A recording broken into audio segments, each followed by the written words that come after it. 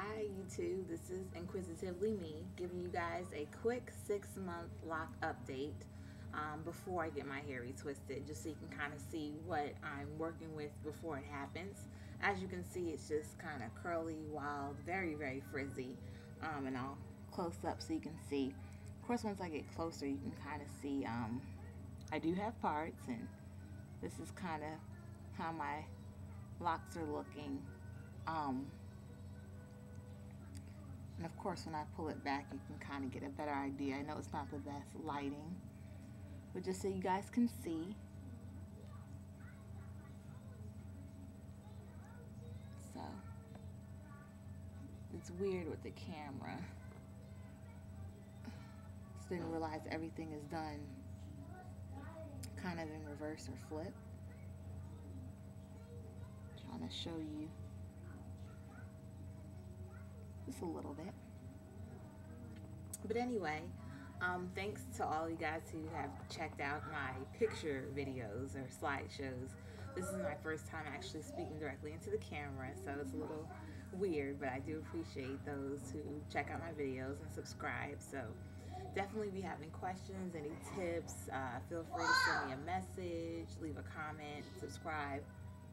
I'm sorry, I have a little daughter who's over in the background acting crazy. But um, if you have any, I don't know, suggestions, clearly my hair looks crazy, um, feel free to let me know. I definitely would appreciate it.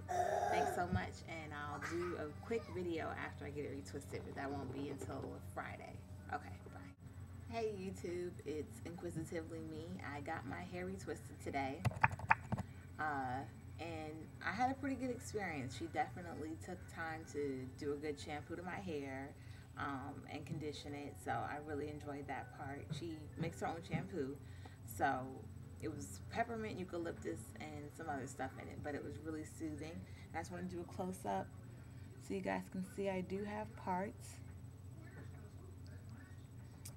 And she palm rolled them all the way down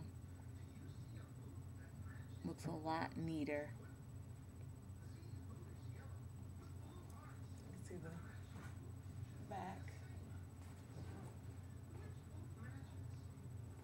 So I just wanted to give you guys an update, uh, let you know how my hair turned out. So I'm pleased.